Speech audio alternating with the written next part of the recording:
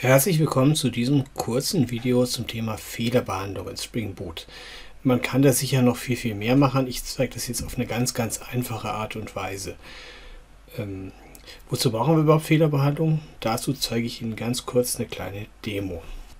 Ich habe hier in mein IntelliJ einen kleinen Endpunkt eingebaut, wo ich einen Fehler produzieren kann. Und der schmeißt einfach eine Null Pointer Exception, um einfach mal zu zeigen, äh, was äh, sagen Server intern schief gehen kann. Und jetzt schauen wir uns mal an, äh, was IntelliJ aus so einer Null Pointer Exception am Client macht. Wenn ich einen GET Request mache auf Fehler und 1, dann kommt eine Null Pointer Exception. Schauen wir mal, was jetzt das äh, Default-Verhalten ist. Sie sehen, IntelliJ liefert hier schon eine ganze Menge. Er sagt hier Status 500, Error äh, ist Internal Server Error, Nachricht ist keine gekommen. Was schade ist, eigentlich hätte dieses so ein Pech, das hatte ich ja in, dem, in der Fehlermeldung äh, dargestellt, hätte hier eigentlich mit rüberkommen können. Und ähm, er gibt hier noch einen Timestamp mit. Das ist eigentlich schon mal gar nicht so schlecht, aber vielleicht wollen Sie äh, diese Fehlermeldung aus verschiedenen Gründen customizen. Grund könnte sein IT-Security-Gründe, äh, dass Sie vielleicht nicht irgendwelche internen Serverinformationen rausgeben wollen. Vielleicht wollen Sie aussagekräftigere Fehlermeldungen haben. Möglicherweise wollen Sie auch noch mehr als ein Timestamp als Correlation-ID drin haben, dass Sie also zum Beispiel von dieser Fehlermeldung hier auf dem, äh, in, in dem Request äh, Rückschlüsse ziehen können auf einen Eintrag in der Logdatei, wo Sie noch Details finden können. Also jetzt versuchen wir mal Fehlerbehandlung einzubauen und vorweg ein bisschen Theorie dazu. Also, warum müssen Sie überhaupt Fehler behandeln? Naja, in Ihrem Source Code können Fehler auftreten, die Sie jetzt nicht so einfach an den Client äh, rückmelden können mit Ergebniswerten. Also manchmal ist ja irgendwas schiefgegangen. Häufig genug sehen wir dann so einen 500 Internal Server Error ähm, und schließen daraus, dass der Server abgestürzt ist. Am Ende des Tages deutet das auf eine Runtime Exception hin, die irgendwo im Server geflogen ist. Und Spring Boot macht uns daraus, habe ich Ihnen gerade schon gezeigt, so ein äh, Statuscode 500 und so ein paar zusätzliche Statusinformationen als JSON-String. Und äh, das wollen Sie aber gegebenenfalls customizen.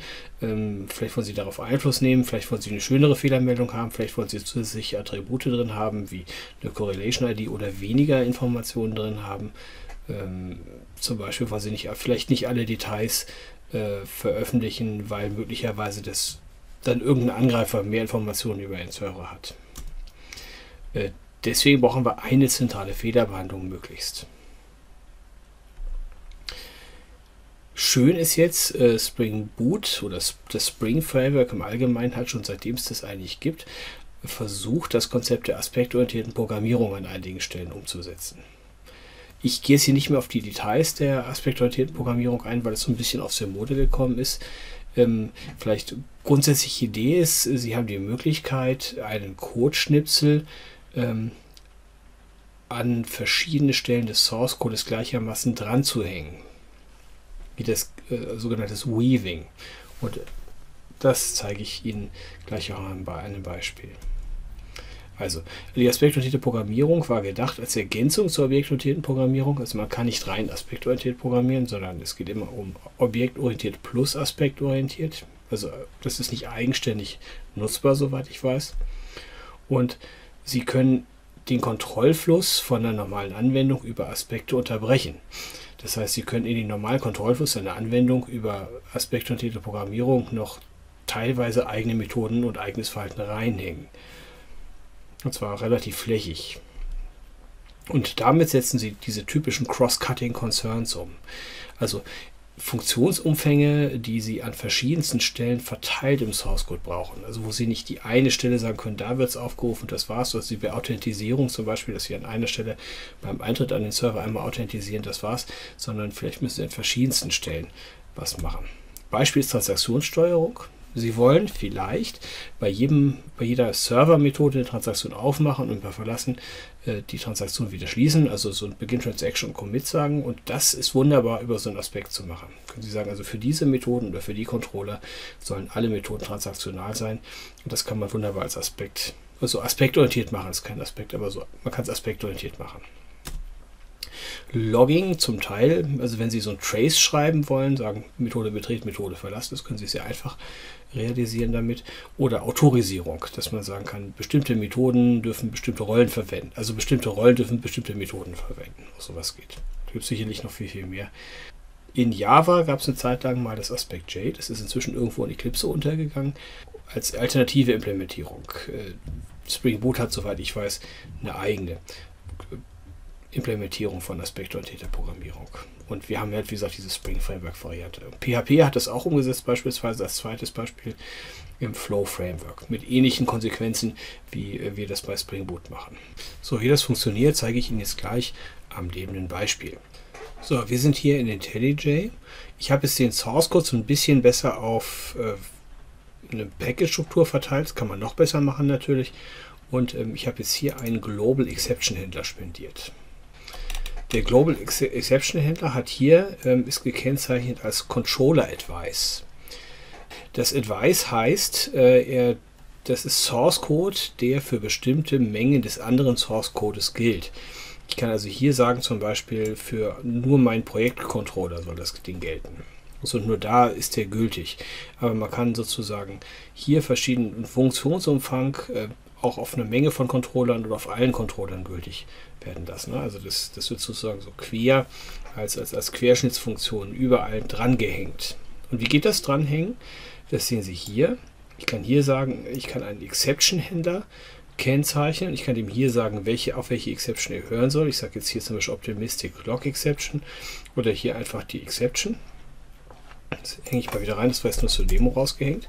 Und ähm, also das heißt, dass diese Locking Problem wird immer dann aufgerufen, wenn irgendwo ein Throw, äh, ein, eine Exception vom Typ Optimistic Lock Exception geworfen wird.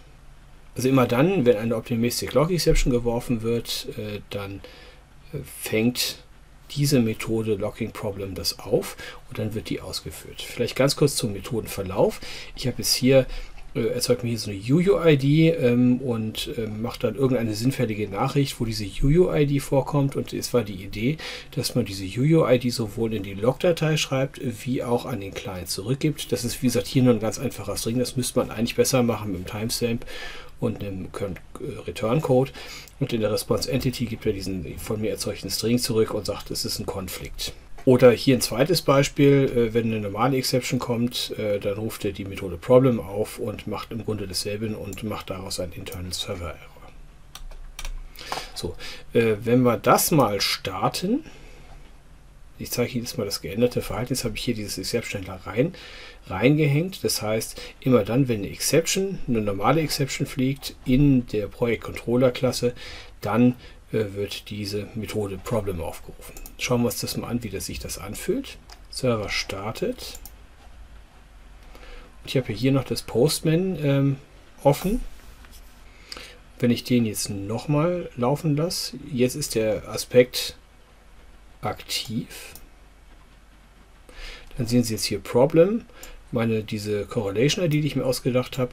Und hier ist auch der äh, der Wert von der Exception. Schauen wir uns noch mal kurz an, wie das zustande gekommen ist. Ich habe hier gesagt, äh, ich habe hier gesagt, er soll auf alle Exceptions hören und ähm, immer dann, äh, wenn die Exception geworfen wird, dann macht er hier als Nachricht Problem diese UUID und die Message und hängt hier auch noch ein Internal Server Error dahinter. Und genau das ist hier passiert. Internal Server Error sehen Sie hier, Problem und dann die Daten, die Sie gesehen haben. Also jetzt haben, die, haben sich Ihnen kurz demonstriert, wie Sie so ein eigenes Exception Handling machen konnten. Zweite Demo ganz kurz. Ich habe jetzt hier so eine fachliche Exception noch gebaut. Das ist hier die Optimistic Lock Exception. Jetzt schauen wir uns mal an, wie das Ding zustande gekommen ist. Das ist der Projektcontroller. Und zwar habe ich jetzt hier beim Put Request eine Logik ergänzt. Das kann man so machen, kann, man kann sicherlich auch schöner noch realisieren. Äh, der äh, vergleicht, ähm, liest, wenn, wenn man so einen Projektdatensatz ändern möchte, den, den kriege ich hier vom Client mit To-Update übergeben. Er liest den aber auch aus der Datenbank raus und macht als erstes einen Versionsvergleich, guckt nach, ob das ob der Client überhaupt eine aktuelle Version hat und wenn die Client-Version zu alt ist, dann schmeißt er hier die Optimistic Log Exception. Jetzt probieren wir das doch mal aus, um uns das Verhalten anzuschauen. Also wie gesagt, er schmeißt hier die Optimistic Log Exception Und die Optimistic Log Exception wird hier als Advice abgefangen über den Error-Händler, den ich hier für die Optimistic Log Exception vereinbart habe. So, schauen wir uns mal an, wie sich das anfühlt. Gestartet habe ich den Server ja schon. Das heißt, der Code, den Sie gesehen haben, war ein Put-Request. Und da kann ich jetzt äh, ein Projekt verändern. Ich sage jetzt hier Projects. Ich habe hier in der Datenbank ist nur Projekt 1 mit der ID 1 drin. Und dem gebe ich jetzt ähm, mal das Projekt mit. Das hat jetzt hier noch funktioniert. Also Sie sehen, er hat hier 200 OK zurückgegeben. Äh, wenn ich jetzt hier das in, bei derselben Versionsnummer bleibe und das nochmal mache, müsste der Datenbank intern die Versionsnummer hochgezählt haben und dann müsste man einen Konflikt kriegen, weil jetzt, jetzt hat die Datenbank die Version 1. Schauen wir uns mal hier das auch an. Vielleicht hat das auch zurückgegeben ein Projekt Version 1. Ich schicke ihm jetzt aber in dem nächsten Änderungswunsch die Version 0 mit und dann müsste es hier eigentlich äh, ein Problem geben. Schauen wir mal, ob er das macht. Und Sie sehen jetzt hier, er hat tatsächlich Konflikt, da wieder die Korrelations-ID äh, für die Logdatei und auch hier wieder ähm, ein paar Informationen, die ich halt in den Error-Händler reingeschrieben habe. Also auch das, die Ausgabe, die Sie gerade gesehen haben, kommt von diesem Exception-Händler. So, mit diesem kurzen Video wollte ich zeigen, äh, wie man so ein ganz einfaches rudimentäres, äh, eine rudimentäre Fehlerbehandlung macht. Äh, wie gesagt, die nehmen das als Advice im Rahmen der aspektorientierten Programmierung. Der Advice bedeutet, sie hängen äh, sozusagen an ein gewisses Verhalten des Programmes, sprich in dem Fall äh, gesch geschmissene Exception. Immer dann hängen sie ihre Methoden da dran und diese Methoden werden immer dann ausgeführt, wenn so eine Exception äh, fliegt. Und so kann man sozusagen für jeden Exception-Typ sich einen eigenen Händler bauen. Mehr wollte ich gar nicht zeigen. Vielen Dank für Ihre Aufmerksamkeit.